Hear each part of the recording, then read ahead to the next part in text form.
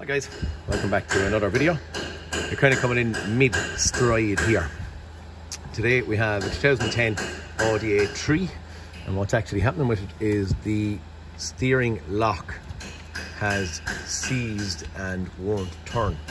I can get it to turn a millimeter or two, which is just enough to make the steering lock release to move it, which is lucky. But um, what I'm seeing at this point in time is I've been handed a, a switch by the customer to go into it.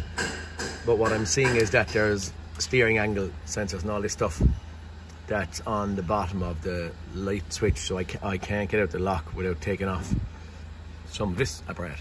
apparatus. So what I'm going to show is how to get this out or go step by step and try and see what we're up against. The first thing that I have done, I have, have done already, is I have disconnected the airbag. I also took the shear bolts out of the top of the actual ignition switch itself. But I suppose what I'm hoping to show you is the disassembly and reassembly of this piece here in order to get in at ignition switch. What I have done, if it's of any pointers to anyone, I pull down this bit of plastic, which is only popped off the side cover, and there's three bolts, one on the bottom, one on the top here, and one on the bottom over here. That was that down. And then there was four 13 bolts holding in the steering column itself, okay? So it one, two, and the same on the opposite side of the steering column, which is quite easy. Once I got it down then, like that, I'm just using a quite simple little dot punch. And I'm going, try and show, from here, or have gone from here in with the punch. Because I took the four bolts out of the column, the steering column has dropped down a bit, just to give me a little bit of room so I could swing. But I want to try and show you these shear bolts, maybe if I can. Go down somewhere. Right, I don't see it. Oh, I do have one. Okay. Shear bolts basically is the top shears off them, and it's only a round bolt that you can't open, and as in you can't get a socket on it like that bolt. That's a steering column bolt, but you can't get a socket on it. What I do is I go in, you can actually see it there with a punch, that dot punch, and I start tapping. You can probably see where the, the marks or the damage is. I start tapping here in order to turn this anti-clockwise. Once it turns a turner, so you'll nearly get them out with your fingers or even run the punch around the circle on top of it and it uh, rolls it out. What I found here on one of the bolts here that I couldn't get in at was, this mightn't be a, a very good way of showing it, I had a 20 Torx or T20 Torx and I ran it down by the side, wedged it up against and I turned this which turned the bolt. Probably you won't be able to see it now but in theory once I was turning it the bolt turned kind of like that in a sense. But anyway, that was how I got my shear bolts out. Now what I'm going to do at this point in time, I'm taking off my airbag and my steering wheel. I'm going to make sure that the steering wheel is straight, that the wheels are straight, and then I'm not going to turn that steering column, good, bad, or indifferent. Sometimes there can be little dot punch marks, which maybe I can show of where it comes off, and you can put these dot punch marks lining up again when you're reassembling. But anyway, that's so fair. But because that's a little bit awkward and contrary, you know, have done these before, but not fresh in my head. A good while ago, getting becoming an older model of wagon. So I'm I'm just going to show this because it's not I'm not familiar with it at this point in time. I'm going in to try and figure out how it comes apart and how I change my ignition switch. One of the things that I did, they did, I did have shown or have seen is the switch that she has brought me came with a very Volkswagen looking key. The switch is marked Audi, but it is a very Volkswagen looking key on it. Now, immobilizing stuff, what I have done, I'm trying to use our own top of our own key, but that blade, I have gotten one of these blades cut, cost 20 euros, and that new blade that was cut to suit this lock is now in that key, okay? So her original key, just with a new blade to turn the ignition switch. Now we'll go ahead and get this crack off, okay? Okay, just the airbag. What I used was a 27 Torx to get in at it. That's what I use. Used. It's not the correct one. It is a size. I think it's size five Allen key. But when I'm pulling out the airbag, that orange tab that's on tap on top. Once you pull that back or flick it back with your fingers, the airbag comes out, and that's the wiring part of it. Off the next venture bit. Always be careful with airbags. People do say it's totally up to your own self. They say to disconnect battery and make sure that everything is dead in the car is shut down, got into sleep mode. Um, for me, you can see a little light illuminate. For me, I've never had any issue with them. That's not saying that one day I won't get caught and I won't, one of them won't shoot off and go up my face. But potentially, if you're taking out the, the shear bolts with a hammer and a punch, um, disconnect the battery just to be sure. I haven't, but just watch it. Now we're going to pull out this. Uh, see, it's a spline key. Don't know what size it is yet, but we'll get a spline key and get it out of it. Okay, guys, can you see it? There's a very small nick, two little nicks. Maybe better with light on. And it's very, very small. Okay, that's just to line up the steering wheel. The steering wheel will come off at that point in time. Now we're into the electronic side it. Okay, once I have them shear bolts out, which I have at the top, looks like this whole thing is nearly going to slide up to me. Be very, very careful that that doesn't start turning on you. The clock spring, clock spring, steering column, and all that has to stay in its specific place. For me, I'm just going to slide it off. I'm going to be careful and put it back on in the same place. It isn't going to store on me. Ye do the same, or if you have any doubts at all, maybe put a bit of tape around or some little thing, you know, like a little maybe tie clip in here to tie clip this piece to it. Sometimes they kind of lock.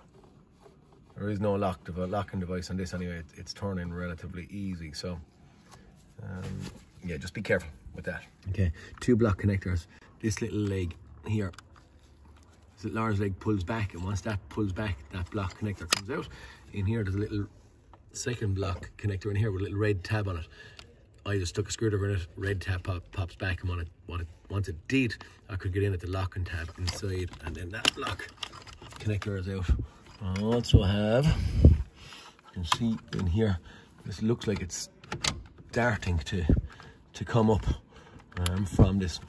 Okay, I'm gonna keep wiggling. I'm gonna go second second hand and see what I'm stuck on. Okay, guys, the steering column switch are not coming up in one piece for me. So I'm going to take off the actual it's kind of part of the steering angle sensor or the steering electronics on the bottom. Um, there's a little sitting in here at the front just there. There's a little size 8 Torx. Sorry focus camera. I should do it. Size 8 Torx. And then what I had a job doing, there's a little clip, there's actually a clip right in the middle of it, and then there's one at the back. But the one right in the middle, you have to go in just below where the bolt hole is with something there what I didn't have, and this is a really terrible bad advertisement or whatever, but that was the smallest little shaft that I could get that would fit in there. A little open hole here in they go. I had to do a little bit of forcing on it to get it in, but that goes in and it pops out the clip that's in the middle, okay? So I have the that one that's coming out, and once I've that one out, I'm hoping that I will probably get the back one to pop down and pop off relatively, I'm hoping relatively easy with a bit of a wiggle or a twist. Maybe I might have to get in there with a, with um, okay, wait, but I can see I think I can see in, see in there now from the bottom. So I took out the bolt on the front. Let's see. I think, I think I'm kind of in, in there, I believe. It's not the easiest now in that, but I think I'm going to go again and drop the camera and try and go can actually kind of see it in there. If you can see what I'm looking at, okay? But that last little clip has to come off. I'm gonna I'm gonna drop the camera. I'll show you once I get it off, okay? Okay. I got him off. Okay, just to show you the clips. That came off on this, as I said, even this Irwin screwdriver wasn't small enough to get in, but it went in through that little hole on the front and then it caught on that locking device there and pushed it back. On the back then, once I got a bit of room and I was able to see in, I went in with my screwdriver and I was able to pop out that tab like that, okay? I couldn't see it from the back. Anyway, that's that section off. And that's nearly, I suppose, enough. I'm hoping that my switch will just about come down now in a second.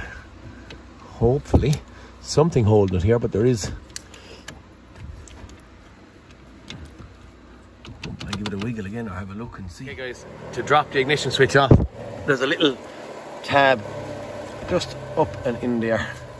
So all I do is pop in that tab and then at that stage the switch starts to drop off. Probably have another one which I have up on this side as well. Give me a little screwdriver there and we'll pop, give it a pop out. I can. Oh, off she goes. Right, well that was as easy as it got, okay? Ignition switch out. Better make sure and verify that we are 100% the same.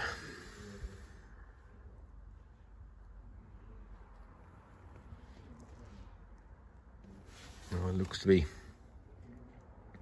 pretty much the same. I see this little seal here, so I better make sure that there's either a seal stuck up on the steering column or something because it's not on that one. But anyway, okay, there's a ignition switch off. This thing is not on my other switch, so I'd say we'll we'll run without. We'll be going without that, whatever it is. Okay, so that's only the switch removal. I'm gonna swap around and start putting it back. Hey guys, I don't know what this thing was, but as I said, it's not on our ignition switch, which is very genuine looking. So I'm going to um, take it off. Haven't a clue what it is. Never saw that these things before, so she's going to one side and it's going back as it was. Okay. The only other thing we have connected here, the wires are coming down and onto the actual antenna or aerial for the immobilizer. They're pretty, they're generic, as in they're that's just going to be getting the power. It's not coded or any of that kind of crack or tied into an immobilizer. It just needs to be electrified to send an electromagnetic magnetic signal out to the key to get a signal back from the immobilizer chip. So we're going to plug out these wires here and plug them into that and then we're what I do guys then on these shear bolts when I'm putting them back together I just put a little cut focus a little cut across them and I run them in with a flat screwdriver, okay? So what I do on it. Okay.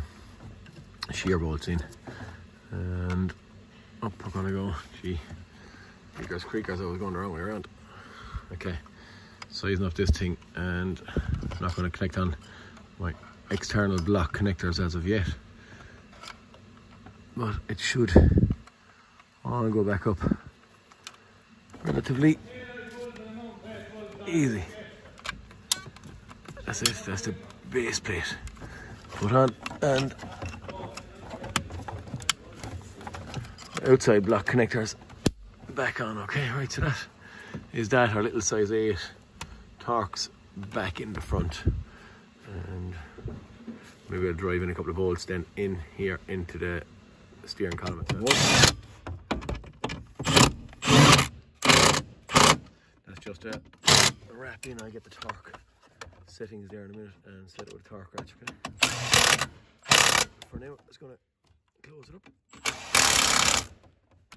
Okay, this bit of plastic is heading in there. Uh, one bolt tight here, one that was down the bottom done here. The four bolts in the steering column, guys, you're going to ask me what the, the torque settings are for it. It's uh, 45 newton meters plus 90 degrees on these four bolts holding up the steering column, okay? Um, keep going. I'm to might put on my plastic cowling around the steering column here first, and then put on my steering wheel steering wheel and my airbag. Okay guys, all the bits of plastic are heading in and bolted in and put back together. With the plastics on the top, bits of plastic down the bottom. All starting to look the part. Steering wheel heading up and on. Watch that little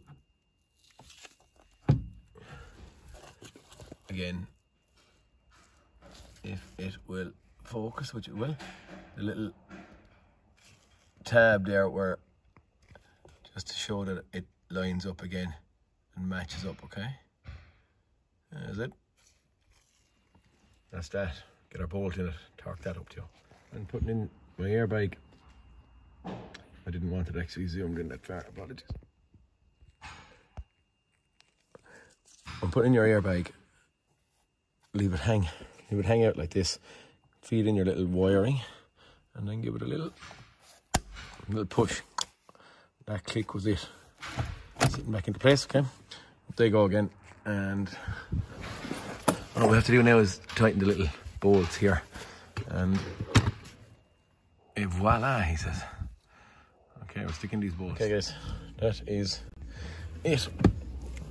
Squares up. Did cycle the key with the airbag off. Someone asked me did it work, and I just put in the key to make sure it turned. Um, so maybe we may have an airbag light on, but she should, in theory, go off. Up and running. Yeah, we have, well, ESP fault that we see both here and over here. I did see, I don't know, maybe I didn't see an airbag fault. If you cycle, turn the steering wheel all the way to one side, then all the way back, and all the way, back again, or even start moving. In theory, what should happen is our light, our ESP lights, are gonna move. Should go off, so fingers crossed. I'll give her a drive. We might need to clear faults if it's at the copping. Topping is changing this thing. Usually that would uh, reset straight away now, but to look, if it doesn't there, we'll give a, a fast clear. Just to mention on editing this video, if you have a traction, traction control light as in a car with little skid marks on the end of it, and or the little steering wheel in orange, and you can't get them to go out and readaptations and relearns don't um, work or your end stop where you spin wheel to one side and back to the other side and wait for four or five seconds if that doesn't work um, and every, just, if everything is right now and you haven't damaged anything drive the car for a couple of miles. Even if you haven't got power steering drive it for a couple of miles. And after about five six minutes maybe or so of driving locking each way one side the other side straight do a couple of full circles around where you can now, where it's safe, that will, in theory, make the car get happy. Once everything's right, get happy with where it's standing and get rid of those traction control lights and stuff, okay? That's what I've seen on a couple of occasions with these Audis. Even if you try doing adaptations or uh, endpoint resets, whatever you want to do, whether it's with VCDS or generic scan tools, sometimes they don't go away unless you actually bring it off for a spin. Okay, just what I've seen. Guys, talk to you next cartoon and that is it changing the ignition switch on a 2010 Audi A3 and please like and subscribe if any of my hints and tips are of any good benefit to you. Um, that's kind of it. Peter Kennedy signing out. Guys talk to you next cartoon and uh, thanks for watching